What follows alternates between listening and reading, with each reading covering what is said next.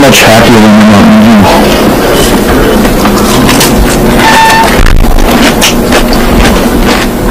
And I can sit here and stew my anger and my frustration and my hatred all by myself.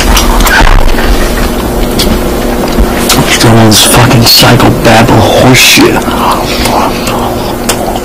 No, like Peter is saying, I'm afraid of changing what has worked. 20 years of hatred sold 100 million records. Now look at it.